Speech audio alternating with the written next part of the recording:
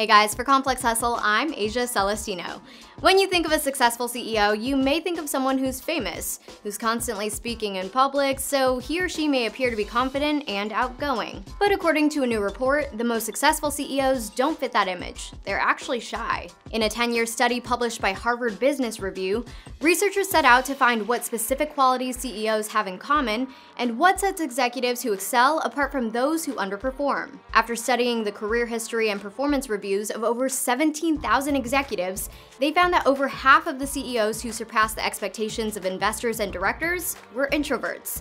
The report showed that skilled leaders don't invest their energy in being liked or protecting their teams from painful decisions. The study also found that all of the candidates had made career mistakes, often leading to costly results and for some, the loss of a job. Another stereotype shattered in the report, the CEOs analyzed didn't all attend Ivy League universities. In fact, 8% of them didn't even graduate from college at all. Pretty interesting. For more business news and stories like this, make sure you guys subscribe. For Complex Hustle, I'm Asia Celestino.